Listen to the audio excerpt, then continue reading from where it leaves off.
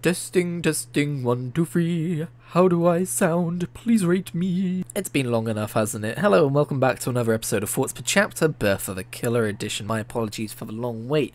Some stuff came up in that pesky real life of mine. But I wasn't uh, video series fading, for want of a better term. And we're going to continue this right now. In the previous chapter, Larten took refuge in the crypt and found Seba Nile.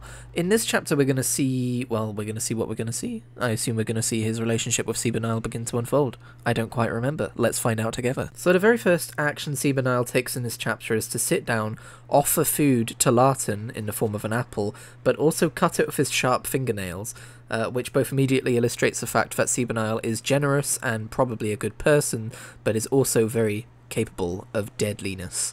That was a really good way of phrasing that. Well done, me. There's an element of lethality to him. There we go. That sounds better, doesn't it? We're just leaving all the bloopers in as we go today. I feel silly. But yeah, Seba was originally going to give Larten half of the apple, but when he saw how hungry Larten was, Seba gave him the entire apple. What a gent. It's interesting knowing that Seba Nile, like most vampires, prizes strength and looking after oneself. It's interesting to note how generous he is here because after, you know, giving Larten the entire apple, which is revealed to be the only apple that Seba has, he also mentions that Larten can help him hunt later, or he can just wait here and Seba will bring him back some more food. This makes me think that Seba Nile is not considering Larten for the vampire clan at this point. He's just seeing a, a, child who needs help. Either that or he's testing him because the phrasing is, or I can bring food back for you if you prefer to remain where it is warm and dry. I don't quite remember how this goes. We'll find out in a second. But maybe, maybe he's thinking if Larten wants to remain where it's warm and dry, maybe he's not cut out for the vampire clan. It's also a little tragic that Larten doesn't know why Seba's helping him. I mean, you know, it's good to be wary of strangers uh, who give you food uh, or sweets in a modern society, uh, but also just the idea that Larten's grown up in a society that's never given him anything, so why would he trust this person giving him food? You're living in a crypt, Larten said. You can't be up to any good if you're staying in a place like this. Seba raised an eyebrow. I could say the same about you, young pup. I mean, it's a good point. Larten's also staying in a crypt. Maybe he's up to no good. In fact, he kind of is. Seba tells Larten he doesn't need to tell him what Larten's just been through, but he might find it easier if he does, which means that Seba believes in the power of therapy. Well done, Seba. Based Seba. I love how forward Seba is with the fact that he's a vampire. Uh, Larten shook his head. You first. What are you doing here? I often stay in places like this, Seba said. You sleep in crypts? Larten asked. Usually. Why? Because I am a vampire. Larten frowned. What's a vampire? And that immediately uh, relates to us, the reader, as well. Like this is taking place in a in a world before Bram Stoker's Dracula. Vampires aren't necessarily part of the uh, you know the the list of horrors that kids are supposed to be afraid of. Like it's a good question, right? Did vampires as a concept exist when Larten was a child? Probably not. I'm guessing Darren Shan, the author, did some research on this. It's a nice little uh, it's a nice little nod to the fact that hey, yeah, times are different hundreds of years ago. We didn't have Twilight. we didn't have the critically acclaimed series of Cirque du Freak novels. You know, we didn't have Dracula. We didn't have this idea of what a vampire could be. Then again, maybe the idea did exist because Seba then asks if he's not heard the tales, but this could be more from a lore standpoint uh, of within the series. Have you perhaps heard of a living dead?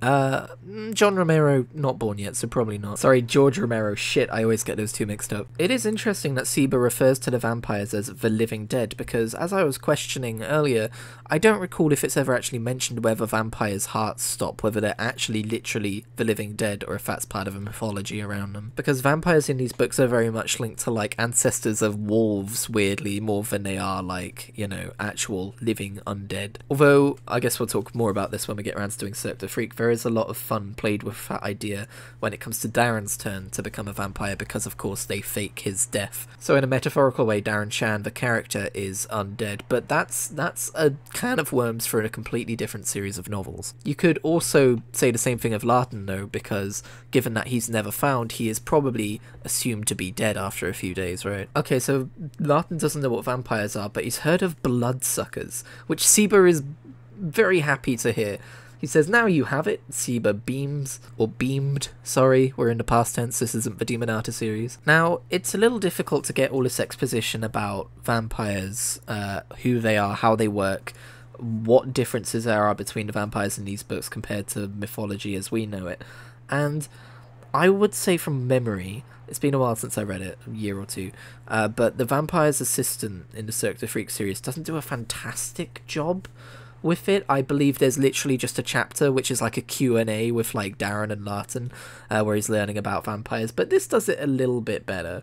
It's not perfect in my opinion, but it's like, you know, Larten's asking questions, Seba's answering them, but it's more conversational than like a literal list of things to be confirmed or denied. There's also the question about like, are you supposed to be reading this as like the first book in the series as a prequel series, or are you supposed to be reading this after Cirque du Freak, which already explains a whole bunch of rules about vampires? We do get a lot here, but I am going to be keeping an eye out for things that we don't get, for things that don't get mentioned. The way the rules of the vampires uh, is explained to us here is half in conversation, and then it's kind of like skimmed over.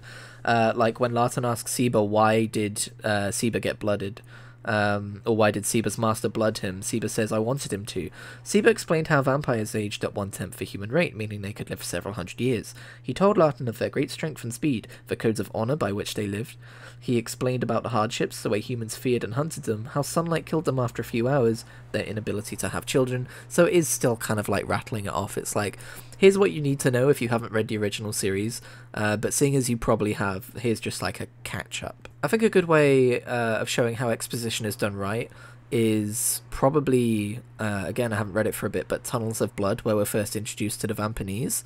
Um, by the way, I've never heard it said out loud. I assume it's pronounced Vampaneze and not Vampaneze or something weird. Um, but yeah, Vampaneze, the introduction to Vampaneze, I think, uh, is a lot more subtle than the introduction to vampires in both versions of the books.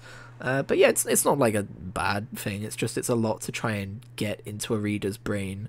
But in Tunnels of Blood, we learn more about it as like a story plot point, and less like here's what we can do, here's what we can't do, here's the rules we live by, blah blah blah blah blah. Although the rules they live by is definitely something that you learn more about across the entire Cirque du Freak series. Anyway, let's continue. We're told that Larten fully believes in the world of ghosts and magic and demons and witches, so he's not surprised to find that a vampire exists, but he is fascinated by them, which is a nice contrast, of course, from you know, I mean, I guess in the Cirque du Freak saga, Darren Shan, the character, is a little mesmerized uh, by the fact that they exist, but he, he does, part of him does believe in them because he is a child.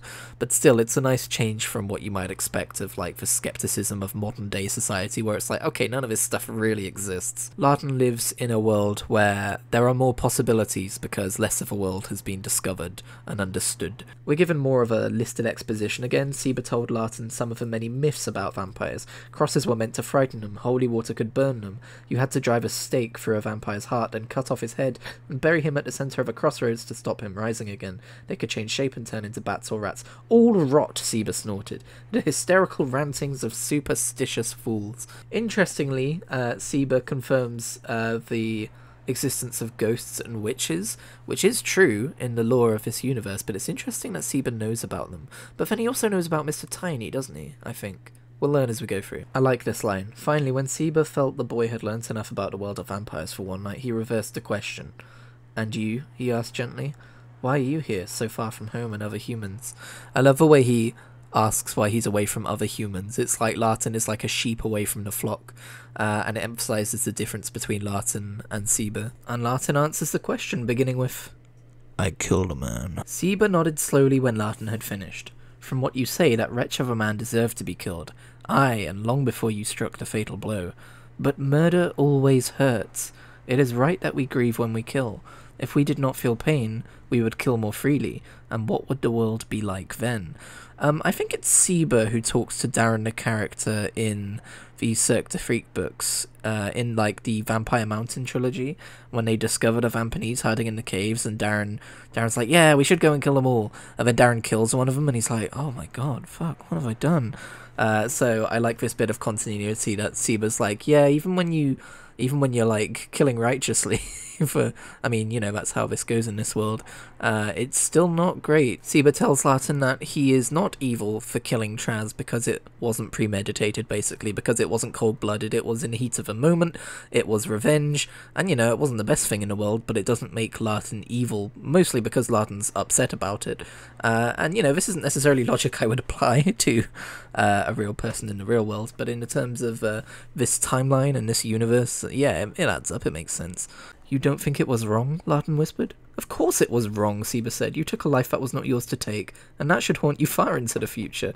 See, it's, yeah, it's nuanced. It's cool. I feel like some of Darren the author's ideals might be coming out when Seba says, The truly evil are those who willingly follow the path of violence when they find themselves on it. You have a choice now. You can embrace the darkness within you and become a monster, or you can reject it and try to lead a good life from this night on. I think there's a lot of talk in the Vampire Saga and the Demonata Saga about like doing awful things for like a greater good, um, but not necessarily the way you know the greater good is always something that's a bad thing in the Harry Potter books, right? So it's not necessarily the same thing there. But I don't know, we'll explore it more as we go. But I think Darren Shan, the author, is very much interested in blurring the lines between right and wrong and exploring the the area in between, which, as Seba argues, is where most people live. Then we get to the point where Larten admits that part of him enjoyed killing Traz because it made him feel powerful, which makes sense because Larten's been raised in this environment where this man has been, uh, you know, basically slave driving him his entire life. So killing Traz is the first real moment of like power and agency Larten's had in his life. But because he's young, he doesn't really separate that out from the whole act of killing, so he just thinks that makes him a monster. You get the impression Seba's actually a little bit disturbed by this because he also mentions that he kind of wanted to stab out Traz's eyes, and now we're definitely getting to the morally grey territory for sure. So Seba's like, but you restrained yourself, right? and then Seba goes on about how vampires can taste evil in a person's blood. It has a sweet tang to it, and this isn't really something I ever really questioned uh, back in the day when I used to read these books, but now I'm like, that, that that's a bit weird that evil has like a physical side to it. I don't really but then this is also a book which has like actual literal physical fate and destiny so i guess it ties into those themes. I personally find it more interesting if evil isn't like a actual physical attribute in a person but is more of like a a question of identity and self and what you're willing to do and what turns you down that road and but, you know, that's just me. I do like the idea that the taste of evil blood is sweet. It's not vile and bitter, like you might expect. It's sweet. It always comes wrapped in sweetness, uh, as Seba says, which also kind of feeds into this idea of modern society and, uh, you know, how corporations work with, like, I don't know, I'm, I'm kind of pulling from, from my ass here, but uh, the idea that like fast food companies and sweet companies are like contributing to the to the bad health of the, of society, but they're profiting from it, so they continue to do so. So you could see that as a kind of evil. So I, I don't know if it's really meant to be a direct metaphor for something like that, but it does bring that to mind. Also, I'm going to get wrapped up on this evil thing. Seba mentions that the test isn't foolproof and that sometimes they can make mistakes, which leads me to believe that maybe this isn't like a absolute honest truth of the world uh, that evil can be tasted in a person's blood. Um, it or like it's more grey than that basically like someone might have like traits of evil in their blood but not entirely and it could be that doing evil things and going down that road is something that affects your blood not the other way around but you know just ruminating here. I think, despite the fact that Seba is telling the truth here, I think Larten has a certain naivety to him at this point because he just goes with everything Seba says. Like, oh, you'll be able to taste evil in my blood? Go ahead. Oh, you won't hurt me if if there's evil in my blood? Fine, that sounds good to me, you know? Like, I get that he's, uh, he's young, but I would have a little bit more suspicion. Although he does have this moment of fear when Seba starts to suck his blood. He's like, wait, shit, no, he's gonna drink my blood dry. Okay, so here's something I forgot, which is interesting. Apparently Larten has mixed blood, meaning that there is the capacity for evil within him. So that kind of ties in with the theories I was saying earlier about it's not always black and white. But this very much ties into Larten's themes as someone who isn't necessarily a good person in their heart. There's someone who because at the beginning of the Cirque du Freak series, Larten Crepsley is painted to be more of a villain than an ally and a friend. Um, and so I think that's something that Darren author probably wanted to explore more in Larten's backstory. Um, so it's it's fun to get this, you know, outlook because well, I mean, actually, this is a theme for Darren the character as well, because Darren has this destiny to become, like, this evil ruler, destroyer of the world, but we'll get to that. And you see it in, like, Grubbs Grady as well in the Demonata series, although we won't really be talking spoilers about that here. Um, but, like, he's he's not a straight-up good character either, so I think Darren Shan, the author, likes to play with protagonists who are not the heroes necessarily. It reminds me of the cover for Skullduggery Pleasant by Derek Landy, and it's got that picture of Skullduggery, and it's just like, and he's the good guy. Slight tangent, but I've only ever read the first book of that series, and I've always wanted to read more of them. There's this nice moment where Seba says, I must leave you now, and he's going to hunt, and Larten's afraid because not because he's going to be left alone in the crypt, but because Seba might be leaving him, which is nice. It's like showing us that a bond has already kind of formed here. And now, even though Seba is still leaving to hunt without Larten beside him, uh, we do get the first instance of Seba kind of like getting Larten ready for this vampire life because Larten smiled and shivered. Could you start a fire before you go? No. Seba squatted by the boy. We light fires on occasion, but we do not rely on them.